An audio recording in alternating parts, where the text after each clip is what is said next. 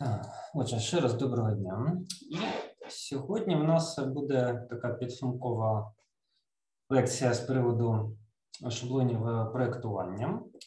І сьогодні ми зосередимося на архітектурних шаблонах у першій частині е, лекції. І наприкінці можна буде якраз обговорити всі питання, які е, могли виникнути по цій темі взагалі.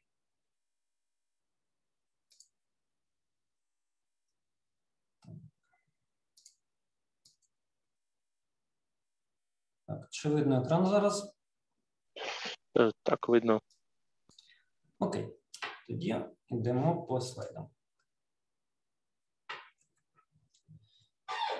Отже, в той час, як е, в попередніх е, лекціях, ми розглядали, як можна організувати взаємодію окремих класів, створення об'єктів тощо. Сьогодні ми будемо говорити, як можна організувати композицію всього програмного продукту в цілому. Е, Основною темою е, заняття сьогодні буде шаблон MVC, але перед тим, як до нього перейти, ми трошки, зовсім трошки е, поговоримо про е, відомі архітектурні шаблони, які використовуються взагалі в е, тих чи інших е, програмних е, продуктах. За деталями я б е, орієнтував вас до Microsoft е, Azure Docs. Ну, а тут ми зупинимося коротко на е, найбільш відомих рішеннях. Е, В цілому, е, усвідомлення програмної архітектури е, можна звести до того, як е, можна скомпонувати різні необхідні елементи програмного продукту, такі як е, Е, Інтерфейс е, користувача, е, який може бути консольним, він може бути е, якимось е, веб-застосунком, може бути просто вікном е, програми класичної у десктоп е, варіанті тощо. Е, Іншим е, важливим компонентом програми є е, шар бізнес-логіки, який відповідає за те, що програма робить, як вона реагує на дії користувача тощо. І той шар, який відповідає за е, збереження даних та може видавати їх е, у шар, який показує їх користувачу, е, та дозволяє оперувати з ними шару, який відповідає за бізнес логіку. Отже, зараз ми поговоримо про наступні способи такої організації.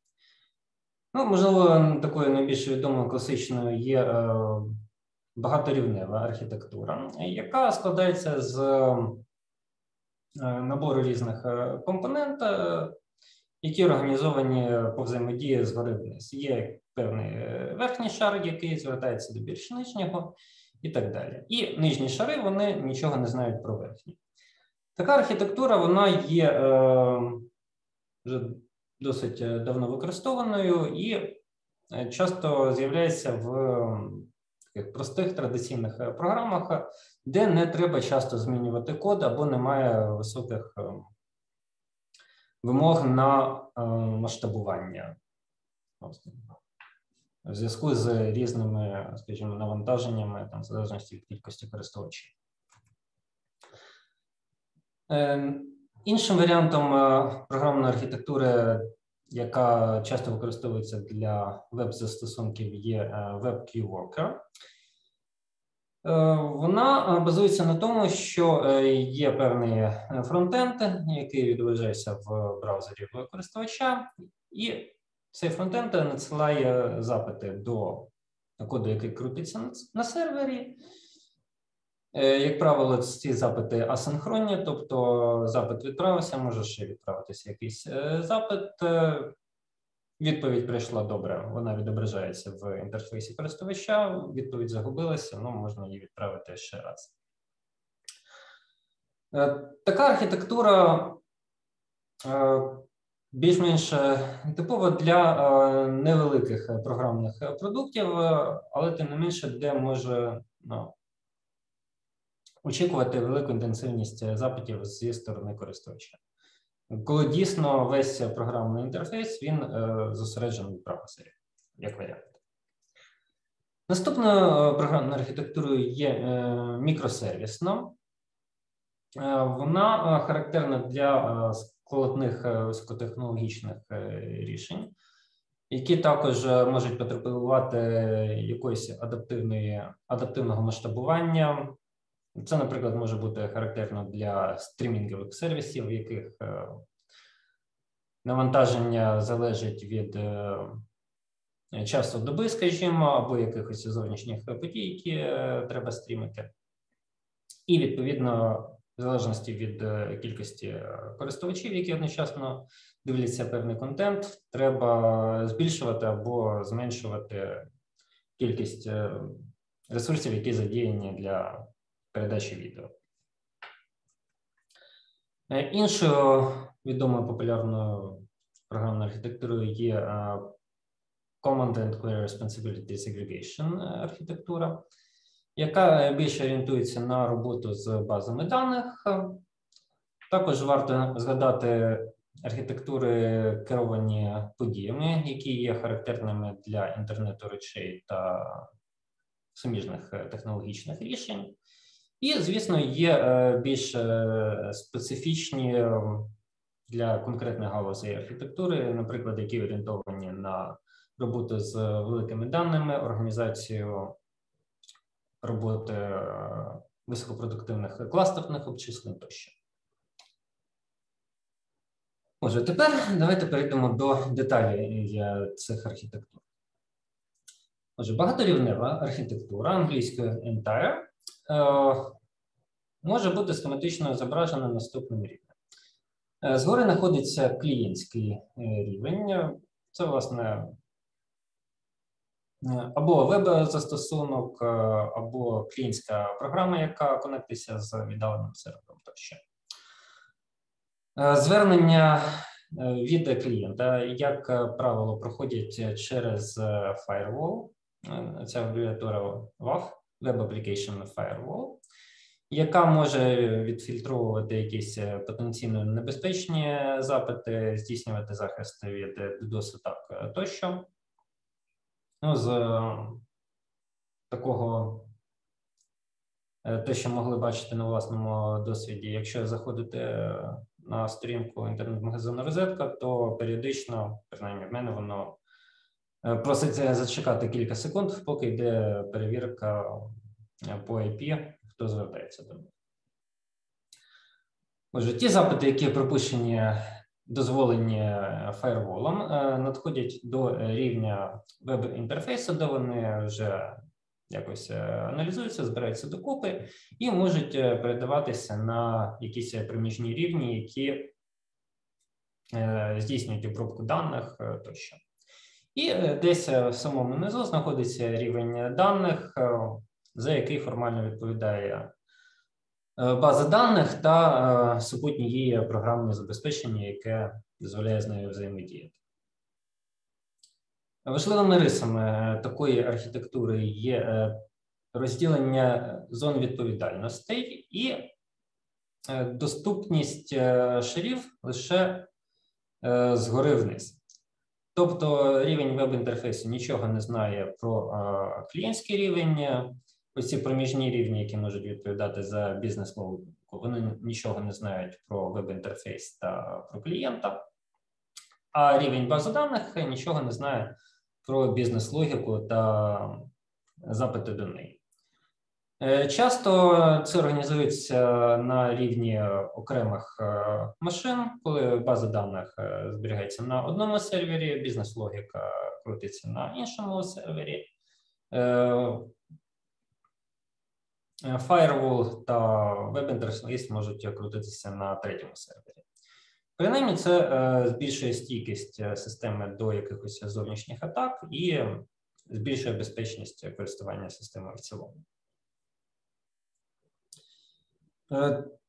Як я вже казав, така побудова архітектури вона типова для сучасних веб-застосунків.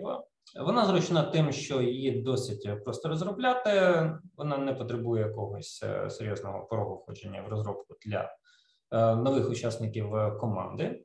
Ну, але, звісно, є певні Особливості її використання це необхідність забезпечувати безпеку інтерфейсів комунікації між кожним з цих рівнів, щоб дійсно відбувалася організація згори вниз, а не знизу вгору. І е, досить часто, якщо вносяться якісь зміни до е, архітектури того чи іншого її компоненту, необхідно деплоїти систему як єдине ціле. Е, до речі, що таке деплой? Так, щоб ми користувалися одною мовою, хто пам'ятає? Ну, це коли ви в production реалізуєте свою систему. Угу. Так, deploy це перенесення коду на клієнтський е, сервіс. Ем, наступна лекція в нас буде присвячена системам е, роботи з Git, і ми якраз трохи пограємося з деплоєм в тому числі, я думаю. Е, наступна система, яку ми згадували, WebQWorker, е, виглядає е, в схематиці наступним чином. У нас є фронтенд на рівні веб-інтерфейсу, він приймає якісь запити і організує їх в чергу, які, яка направляється до так званого працівника, який крутиться на сервісах е, бекенду. Працівник може мати доступ е, до даних, е, якісь дані, можливо, можуть направлятися напряму до фронтенду одразу тощо.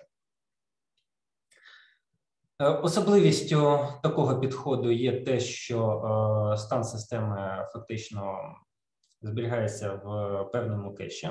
Це те, що ви бачите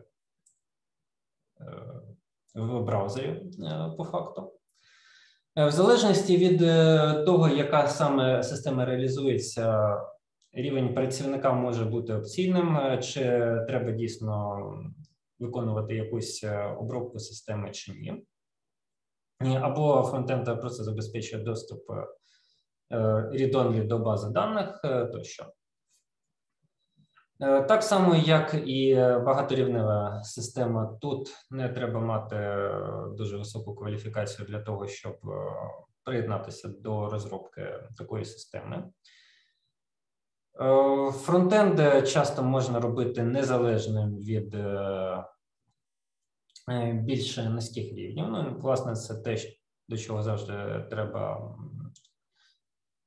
намагатися реалізувати власних системах для того, щоб зв'язність системи була мінімальною. Ну, але е, е потенційним мінусом е, організації такої архітектури може, може бути те, що самі по собі фронтенди і працівник е, можуть е, бути досить громісткими і при тривалій розробці прямувати до так званого стану моноліту, коли внесення якихось змін в архітектуру певної частини коду стає дуже затратним через е, внутрішні зв'язки між різними компонентами. Е, від таких незручностей можна сказати, позбавлена мікросервісна архітектура, яка базується на тому, що є певний клієнт, є Е, набір, ну, є певний набір команд і е, форматів е, запитів, форматів відповідей на них, яким клієнт може користуватися, і є малий чи великий набір сервісів, які ці запити можуть обробляти. Така архітектура корисна тоді, коли ви не знаєте наперед, е, яке навантаження на систему може бути в конкретний момент е, часу. Коли ви хочете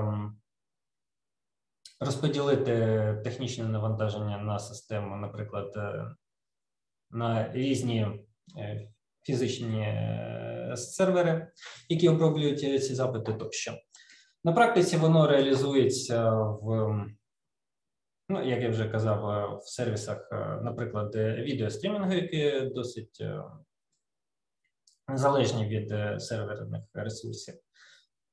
Як приклад API запитів можна навести систему Crossref, в яку можна засубмітити дані про певний науковий журнал або ідентифікатор дої і отримати назад інформацію про випуски цього журналу, про конкретну статтю з заданим ідентифікатором тощо. Ну, як, Якщо користуєтеся такими програмами менеджменту бібліографії, як JabRef, наприклад, там можна імпортувати бібліографічні записи, якраз завертаючись через Crossref до Crossref або до відповідного API архів Org тощо. Перевагою такого підходу є те, що ви можете організовувати роботу кожного окремого сервісу незалежно. Він може відповідати за якусь лише невелику свою зону відповідальності, і ви можете їх обробляти незалежно. Відповідно, кожен сервіс буде реагувати на той запит, який прийшов від клієнта, який йому потрібен. Такі системи є досить гнучкими в розробці. Вони відповідно стійкі до відмови, оскільки сервіси можуть частково або повністю дублювати один одного, відповідно розпорошуючи велику кількість запитів на різні фізичні машини. Ну або якщо якась машина, наприклад, відмовила, то відповідно такий запит буде оброблений іншою. Але е, варто зважати при розробці таких систем, що їх досить складно тестувати через е, можливо якусь інтерференцію в роботі сервісів, і е, варто звертати увагу на те, що в при запиті від клієнта до сервісу можуть бути якісь затримки в мережі, тому може виникнути якесь, наприклад, надлишкове дублювання. Це треба враховувати. Система, ну, архітектура програм, яка орієнтована на обмін командами, може бути схематично зображена наступним чином. Фактично, головною її метою є відокремлення запитів на читання і запитів на запис, коли ми працюємо з базою даних.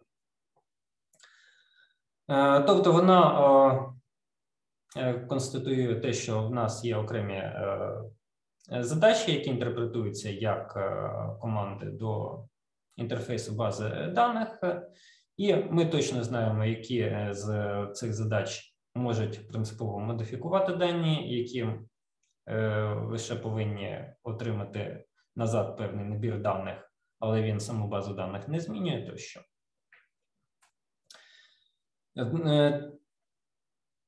Звісно, при реалізації такої системи варто звертати увагу на те, що організація саме такої кругової схеми може бути технічно непростою в порівнянні з іншими моделями, але потенційно вона дозволяє суттєво оптимізувати навантаження по ресурсам, коли йде активна робота з базою даних.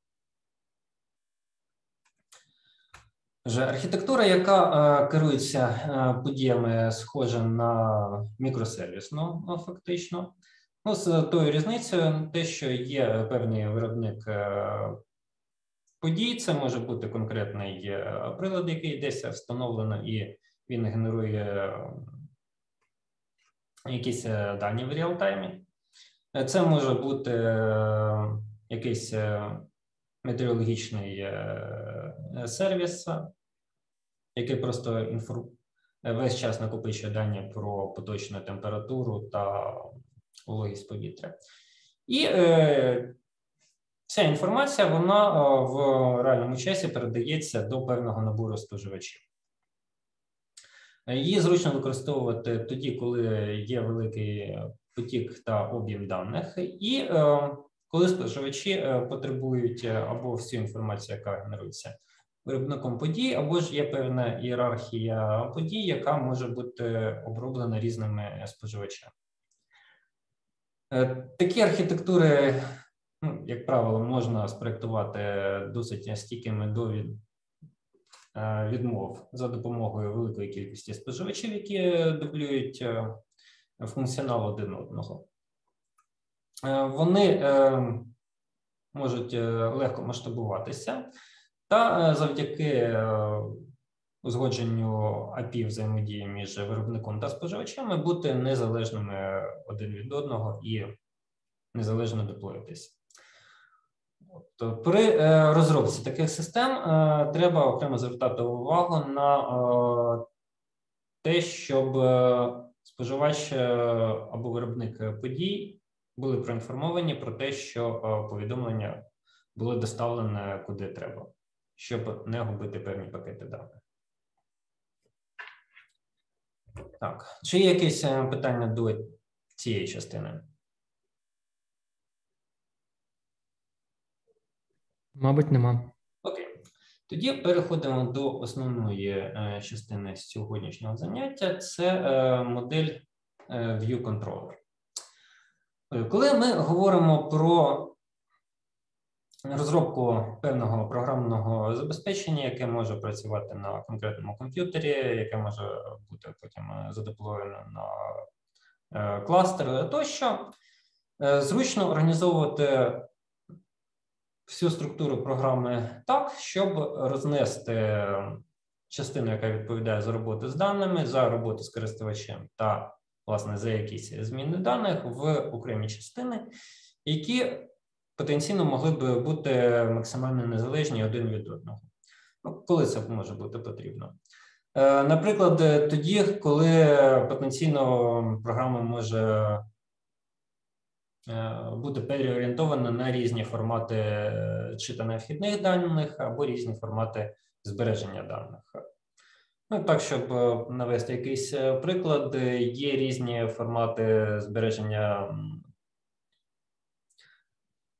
Е, різних числових е, сіток, які можна потім е, подивитися в програмі ParaView або обробити в інших програмах, і якісь з цих форматів орієнтовані на більш зручне читання. Це можуть бути текстові файли, якісь табличні. Інші формати більше орієнтовані на те, щоб економити місце на жорсткому диску тощо. І відповідно, в залежності від того, де ви е, запускаєте програму, або яку задачу вам е, треба розв'язувати, ви можете орієнтуватися на е, те, щоб використовувати різні формати збереження даних. Скажімо, в моєму досвіді була робота з одним з німецьких кластерів, де під кожен користувацький аккаунт відводилося всього 8 гігабайт місця на диску, і тому треба було це місце економити. Я не міг запустити одночасно багато моделювань, щоб е, вони всі успішно завершилися. Е, в інших місцях у вас може бути необмежена кількість місця на диску тощо. Отже, ну, таким е, класичним архітектурним рішенням. Так, перепрошую. Видно екран зараз? Видно. Model okay. View Controller. Е, класичним рішенням, архітектурним рішенням, яке дозволяє так е, організувати програму, є е, так звана трійка модель View Controller. Тут програма розбивається на три компоненти. Власне, модель, яка відповідає за збереження даних, контролер, який відповідає за роботу з даними, і View – це ті компоненти е, системи, які відповідають за показ даних користувачу. В деяких системах вона вже вбудована, але якщо ви, наприклад, пишете програму на чистому C чи Python, то е, часто це треба реалізовувати власноруч.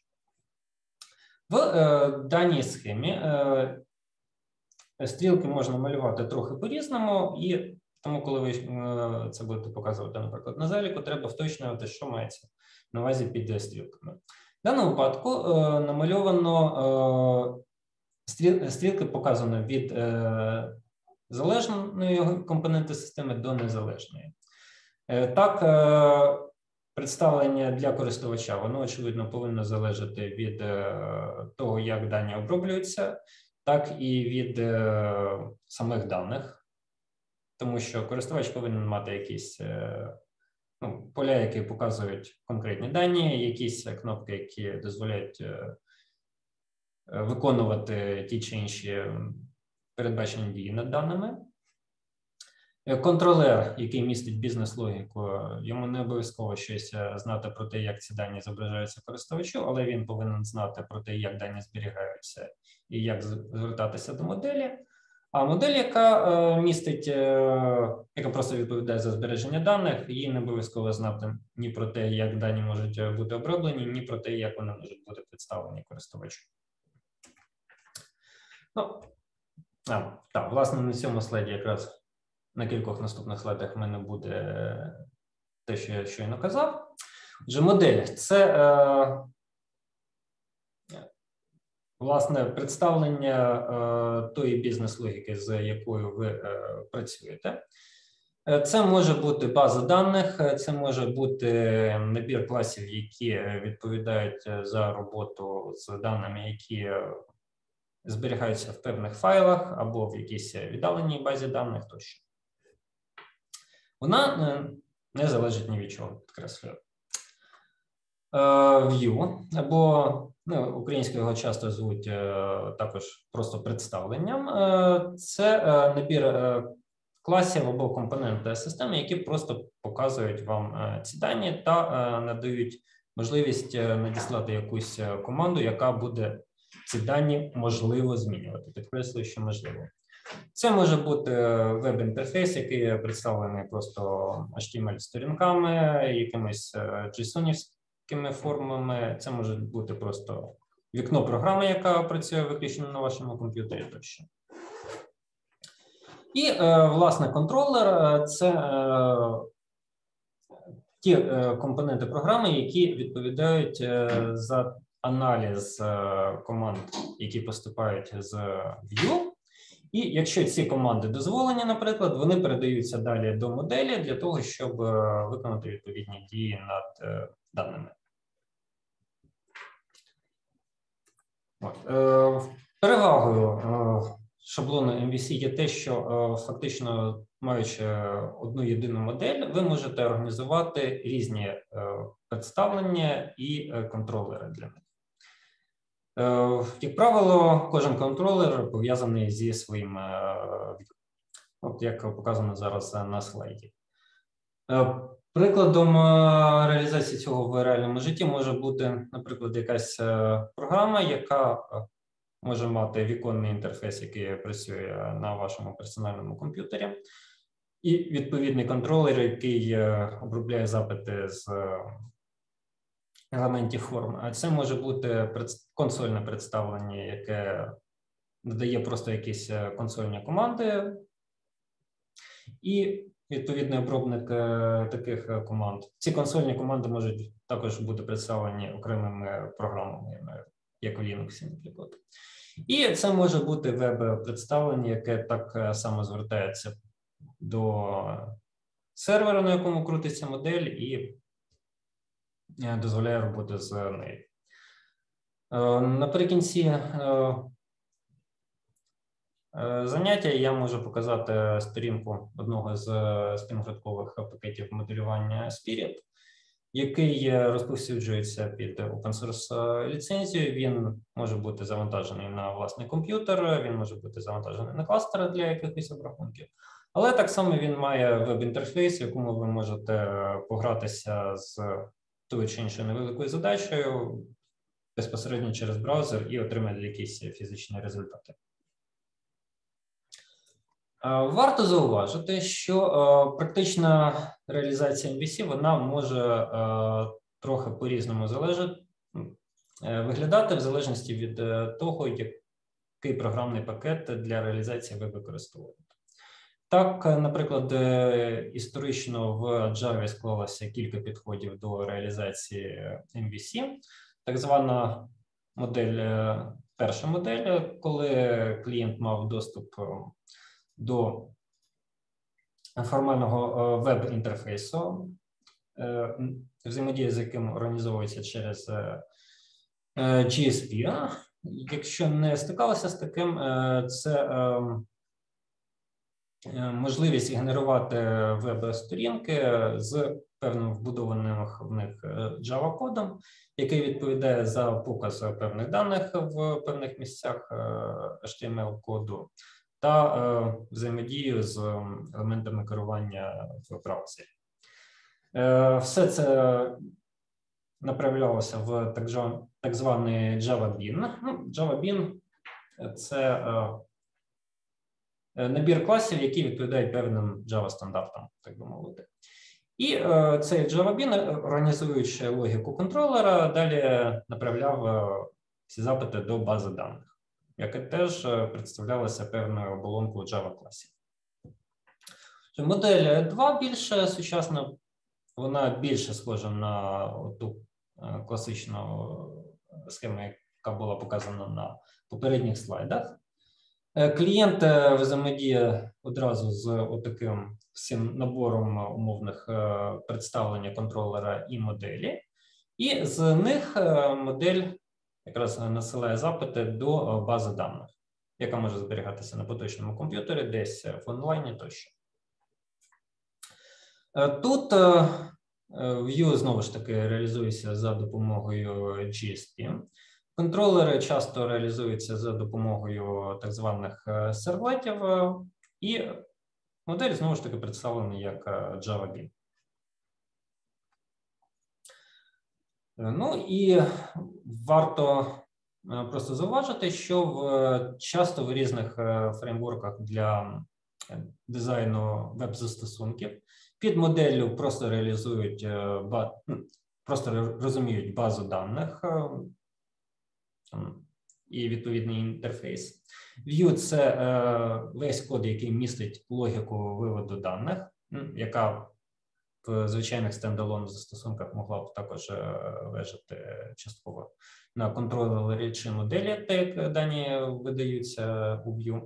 А контролер містить всю бізнес-логіку і обробку даних. Ну, очевидно, якщо модель це просто база даних, то вона вміє лише записувати та видавати дані. Тому бізнес-логіка, там, наприклад, розв'язання певних диференційних рівнянь, вона переноситься у контролер.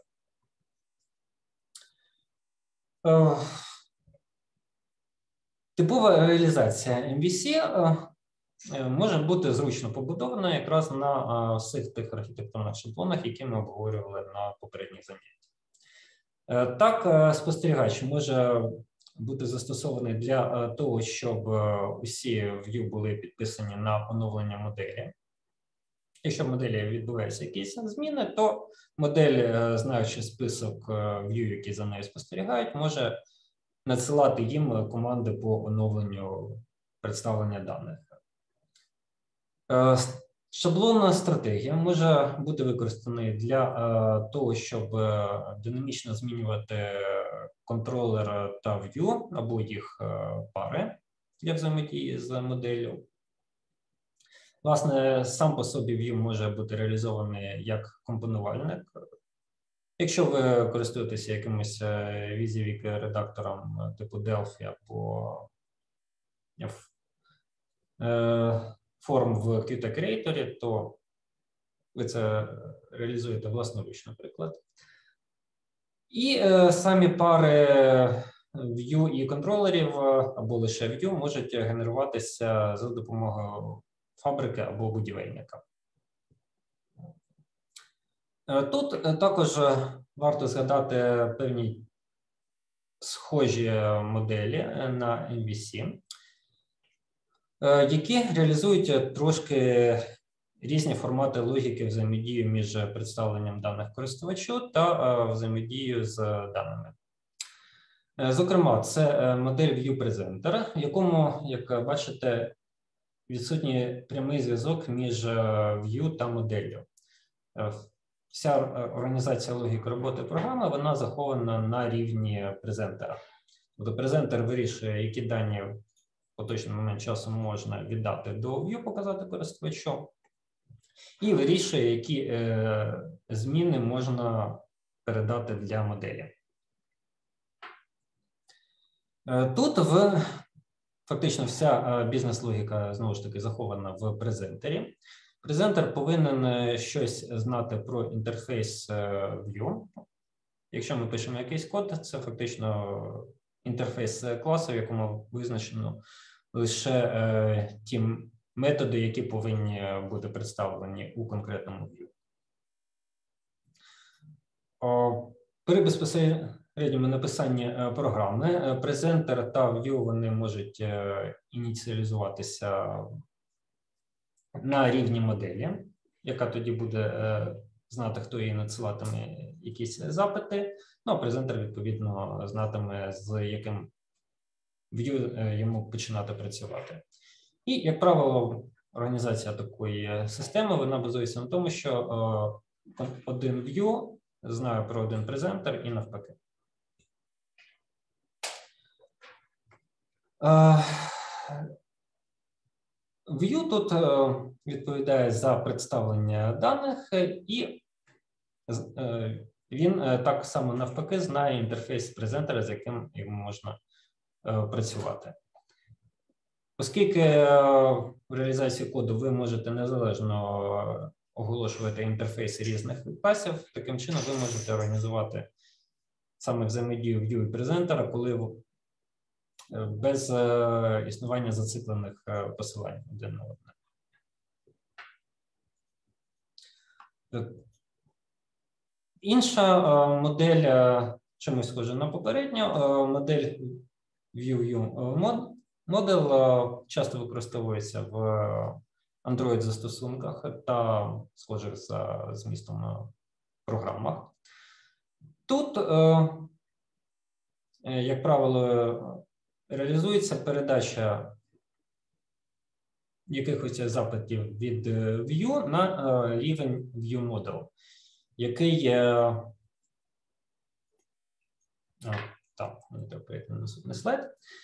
Е, Який е, організовує зв'язок е, по форматам даних між моделлю, яка може також містити бізнес-логіку, та конкретно Vue. Ну, Якщо повертатися до прикладу Android застосунків, вони часто можуть бути організовані так, що один і той самий код працює на сервері і в браузері користувача, і е, той самий код е, завантажується на як APK файл і так само працює на мобільному телефоні.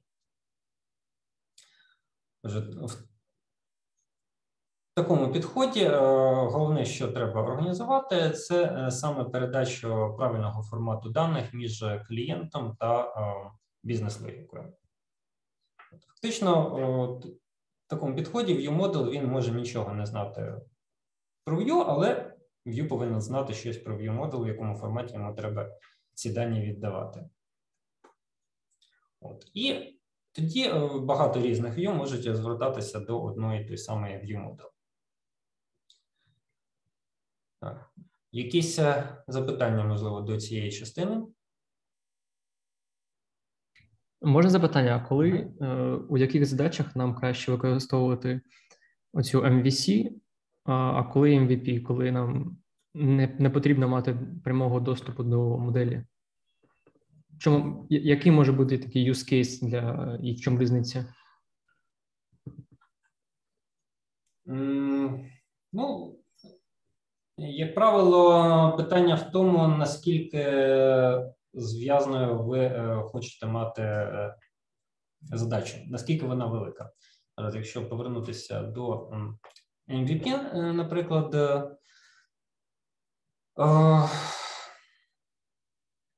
е, якийсь е, невеликий пакет е, моделювання, який ви пишете для себе, він може ре- реалізовуватись якраз е, по моделі MVP. Е, Якщо ви пишете якусь більш е, велику е, програму, в якій може бути різна взаємодія між е, компонентами, то MVC зручніше. MVC дос, насправді досить е, типовий для е, стендалон застосунків, ну, типу програм, якими ви користуєтеся під час повсякденного життя і за комп'ютером. Е, Як е, приклад, е, ну, В мене є один сайт-проект програма для роботи з Е, бібліографічними записами, мені її було е, зручніше організувати е, за моделлю MVC. Коли в мене модель представлена класами обгортками над SQLite базою даних, є контролер, це набір класів, які обробляють щось, якісь запити, які приходять з моделі. А модель це просто набір е, форм, які можуть щось показувати. Але при цьому в цій програмі насправді заховано формально щось на кшталт MVP е, у цієї моделі, оскільки я пишу програму на е, Qt і певні стандартні класи Qt одразу реалізують цю модель. Е, є е, інтерфейс е, класу, який дозволяє просто показувати якісь дані у формі таблиці або у формі деревовидної структури даних тощо. Є класи обгортки над якимось набором даних, і я можу просто сказати фреймворку, що я поєдную оцей клас і оцей клас, і тоді автоматично все, що я е, зроблю з класом е, представлення даних, воно буде відображено на формі. Якщо це був елемент, який зображає дані як деревовидну структуру, він буде автоматично оновлюватися. Мені не, не треба про це думати, і я можу мати кілька таких е, елементів на формі. Ну, якось так. Е, чи відповів на запитання? Ну так. Да. От зараз я е, пропоную трохи побалакати про е, приклад, як MVC модель може бути реалізована. Так, В даному випадку на слайдах показано приклад на C-Sharp, але формально воно так само переноситься на будь-яку іншому програмуванні. Е, типова модель е, може виглядати наступним чином. Вона е, містить певну колекцію візуальних представлення даних цих view. Це може бути список чи щось таке. Є інтерфейс, який дозволяє додавати чи прибирати view, і Є метод, який дозволяє оновити всі дані у під'єднаних. Який це шаблон фактично тут реалізується?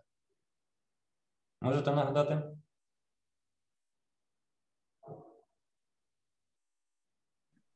Команд може бути. Угу. Модель має е, інформацію про всіх, хто хоче знати її стан, і має інтерфейс, який інформує всіх цих підписників про оновлення стану.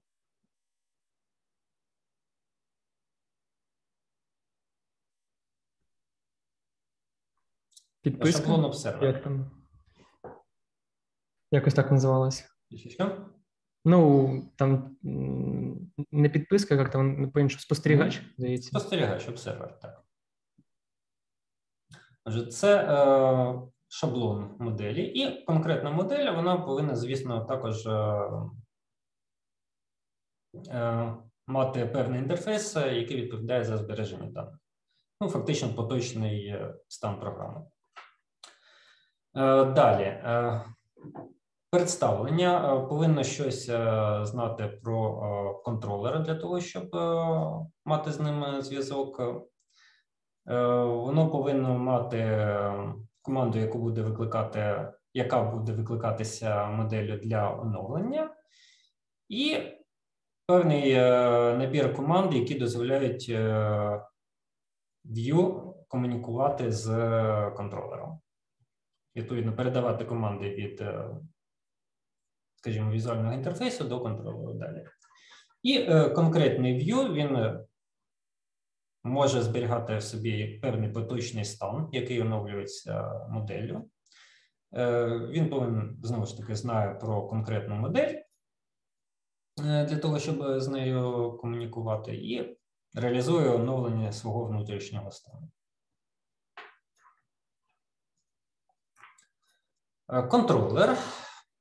Принципово він е, просто повинен е, знати, що е, певні про е, дії, які можуть е, бути виконані, і умови, коли ці е, дії отак.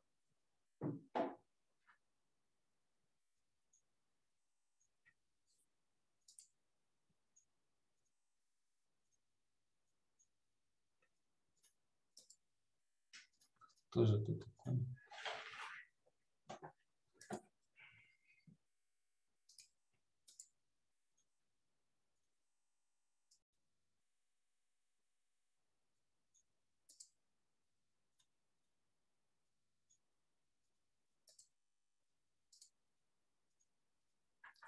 Так, отже, на е, так.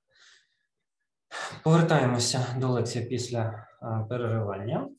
Так, на цьому слайді я е, говорив е, про те, що в нас є контролер, який е, знає про дії, які принципово можуть бути виконані, і е, умови, коли ці дії власне виконуються. Якщо приходить якийсь е, запит з Vue, то контролер повинен знати про те, чи може такий е, запит бути виконаний чи ні.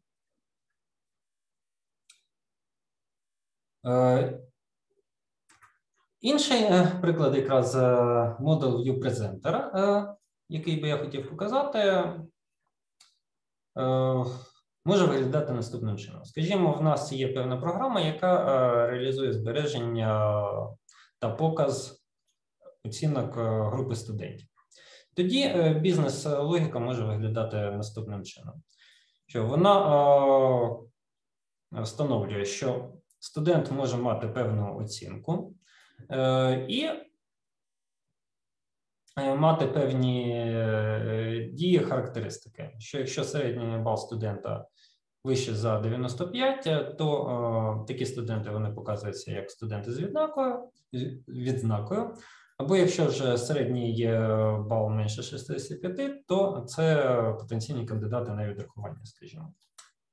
Тоді е, клас, який е, відповідає за представ... за е, збереження таких даних, може виглядати наступним чином. Кожен студент має певний ідентифікатор, своє ім'я і набір оцінок.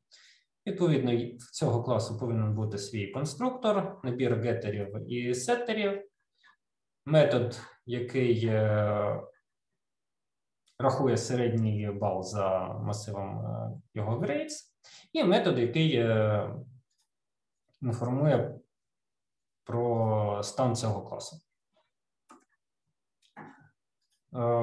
Власне, код може виглядати наступним чином. Для знову ж таки C-Sharp в нас е, є е, property ID, яке е, має публічний getter і приватний setter. Так само ім'я, публічний getter і приватний setter, і список оцінок студента, які зберігаються просто як список цілих чисел. Цілих чисел. Конструктор встановлює ім'я та ідентифікатор. Є метод, який проходиться по списку цих цілих чисел, рахує їх е, середнє, і є метод show, який е, повертає певне представлення цього стану цього класу. От, звертаю увагу, що е, на практичній реалізації, звісно, ось тут в приватному сеттері повинні бути реалізовані контроль того, чи коректні дані вносяться. Наприклад, від'ємна оцінка може бути заборонена, тому це треба тут контролювати на рівні сектору. Е, Далі. е, Презентер. Е, Так. Так, я тут написав контролер, перепрошую.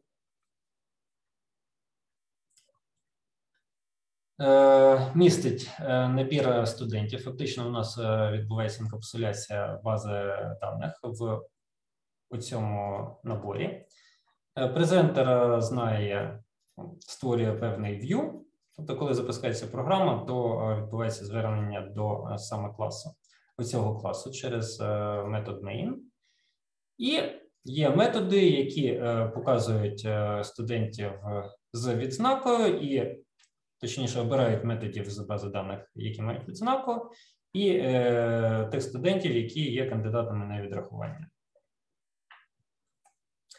І е, е, view, власне, який містить, е, який знає про контролери, до якого йому треба звертатися презентер. Е, Є методи, які відповідають за показ е, цього на екрані. Ну, власне, все. В такому вигляді е, безпосередньо в C-Sharp це може реалізовуватися в ASP.NET за допомогою надбудов типу HTML Helpers, е, CSHTML тощо. Отже, ну і підсумовуючи цю лекцію, ми е, тут розглянули різні програмні архітектури, які можна використовувати для задач різної напрямленості.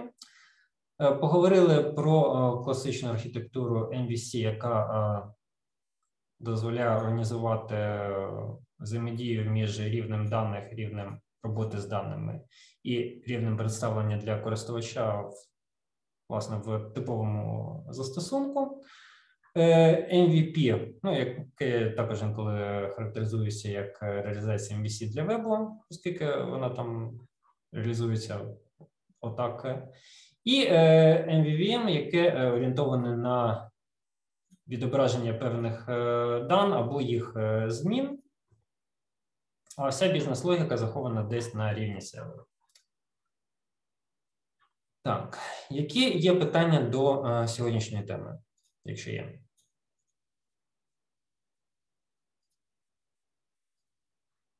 В мене нема. Так, як е, у вас е, справи з домашніми завданнями? Поки що, здається, з останніх е, тем я бачив лише по одній домашній задачі, які були напрямлені на оцінювання.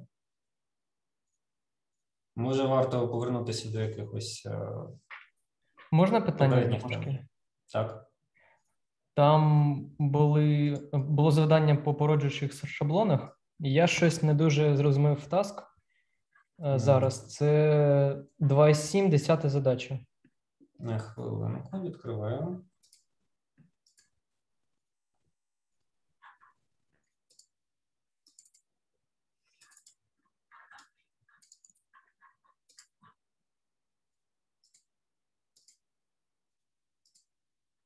Так, 2.7, 10 задача, так? Так. Так, спроектуйте систему створіть демо-програму для представлення описаної задачі структури та Другий. Варіант. вибір використаних шаблонів. Так. е, Що мається на увазі під е, класами представлення білкової молекули? Я там поліз в Google дивитися, що це ця білкова молекула себе е, представляє, але щось не зрозумів, що тут треба. А, ну, ну як, е, е, власне, е, тут всі задачі вони орієнтовані на те, що у вас просто є якісь класи заглушки, які взаємодіють між собою. Для білкової молекули, ну я б це міг уявити так, що у вас є класи компонент такої молекули, і вони можуть якось ієрархічно бути впорядковані, наприклад і взаємодіяти між собою. Коли ем, поведінка сукупності білків вона може відрізнятися від поведінки окремого білка. В залежності від того, як, як ви ці білки поєднали. Це типу якийсь будівельник, виходить? М, Не зовсім, не зовсім. Ну, дивіться, е, от є, е, Ну, тебе я зрозумів, є якісь там білки. Є хромосома, вона е, складається з е, елементарних е, білків якихось і їх послідовностей. І в залежності від того, які послідовності ви тут е, скомбінуєте, то ця хромосома буде відповідати за кодування тої чи іншої там, спадкової інформації. При цьому хромосома може бути різної довжини в залежності від того, чия це хромосома людини чи миші, там, наприклад. Але компоненти, з яких воно складається, вони е, однакові, ті самі білки. Ну, як приклад. Питання в тому, як ви їх е, саме впорядкуєте, і як, е, яку поведінку повинна мати саме організація набору цих елементарних білків. Там у нас е, були шаблони, які якраз е, відповідають за набори однотипних класів, які можна ієрархічно впорядковувати. Добре, дякую.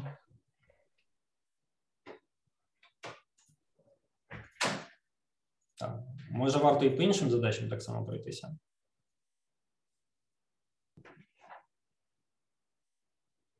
Ну, мені тільки це було цікаво, може, що хлопці щось хочуть спитати. Ще є якісь питання?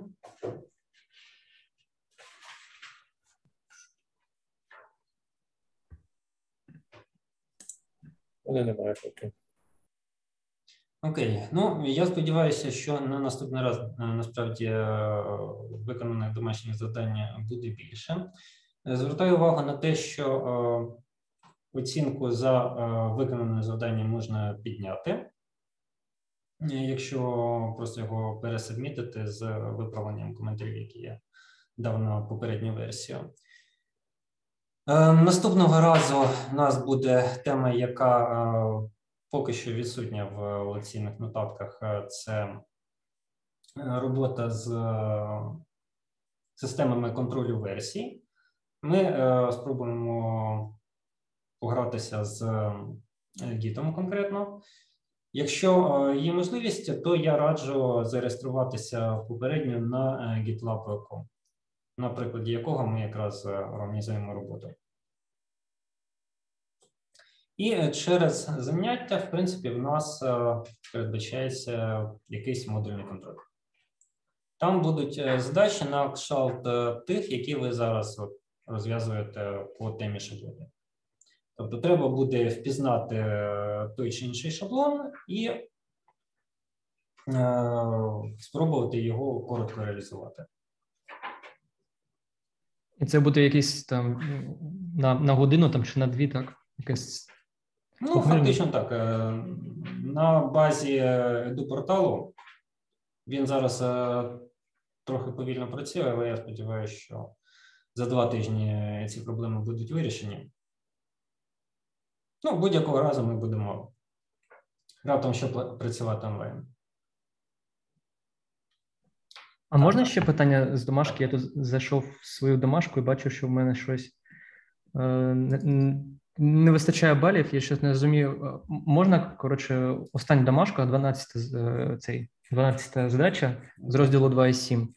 Хвилинку. Так, 12 задача. Так. Який у вас номер був задачі? У мене другий. Моменти Елементи графічної. інтeg- Ага. Так, згадав, дивився щось таке. Де коментарі?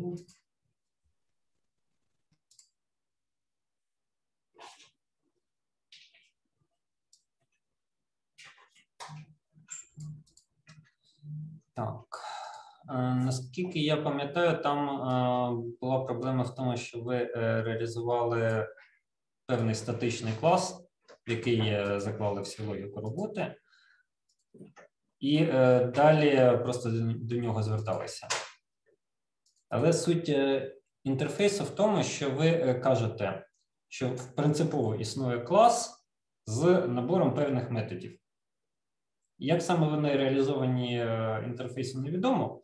Він просто декларує, що такі методи наявні. І е, далі е, фактично організація роботи з кодом виглядає так, що е, ви знаєте лише інтерфейс е, класів, з якими звертаєтеся. А фактично реалізація вона може бути різною і, власне, визначати конкретну логіку роботи програми. Так. Десь я собі зберігав собі. Зберігав. Зараз я ще раз завантажу. Да, я здається, здається, зрозумів.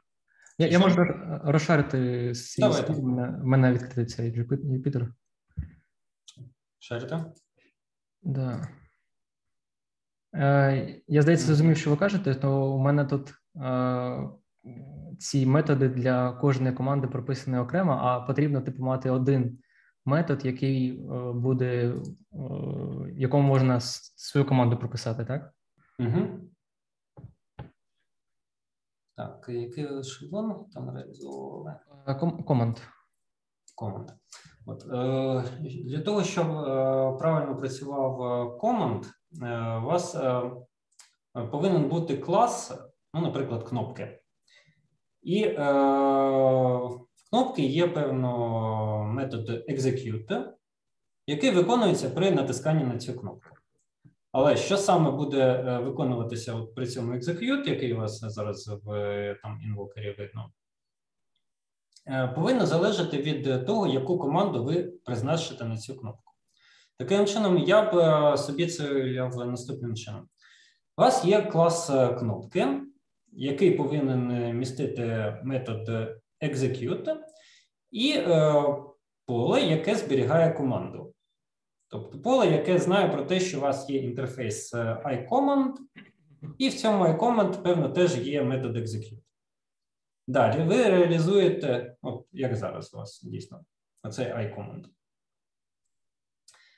Далі ви реалізуєте конкретні команди, які нічого не знають про ресівер, насправді, вони просто щось роблять. Наприклад, е, показують якесь е, повідомлення на екрані, в залежності від того, що це за команда. Показати привітання, показати е, на добраніч тощо.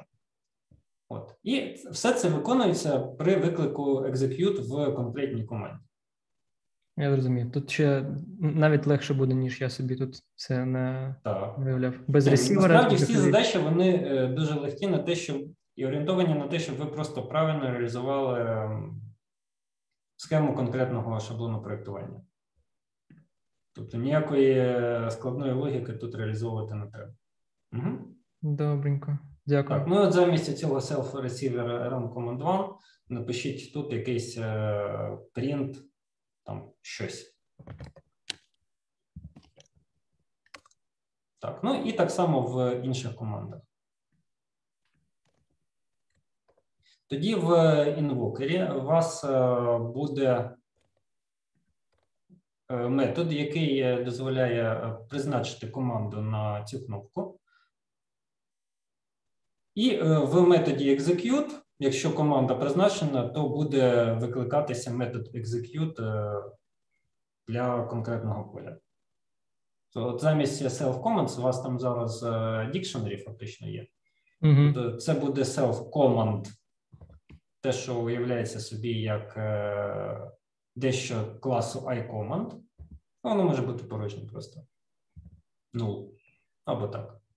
От, потім в register ви е, в команди записуєте об'єкт класу там command 1 чи command 2 тощо.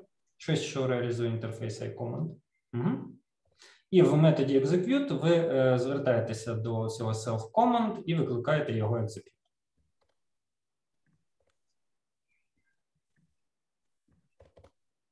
Угу, якось так. Дякую. Добре. От. Ну а тепер, щоб було цікавіше, можете е, перед ресетмітом е, внести кілька модифікацій для того, щоб е, у вас тут була, був набір команд. Ще раз? Е, Можете спробувати трохи модифікувати цей код так, щоб на інвокері можна було повісити набір команд. А А, типу, послідовність? Наприклад.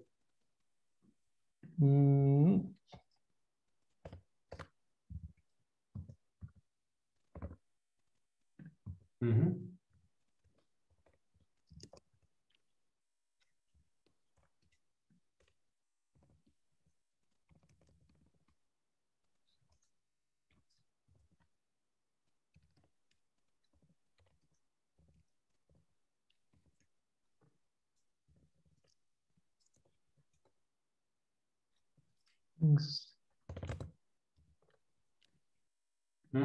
Tá ótimo.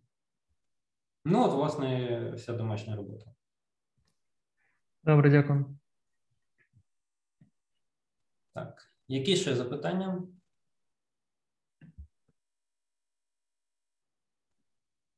Подивіться, може, уважно зараз на ваші домашні задачі, і ми їх теж обговоримо.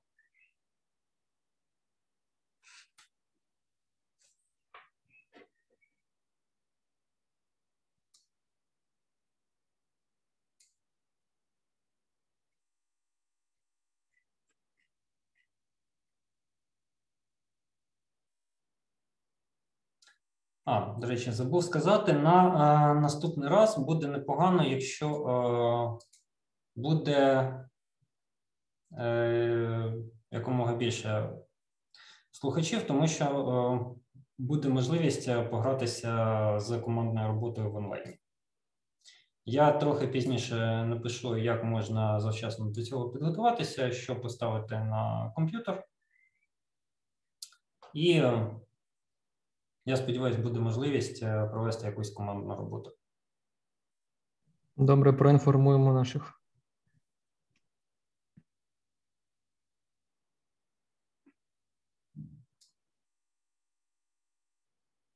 Якісь Які ще запитання, побажання?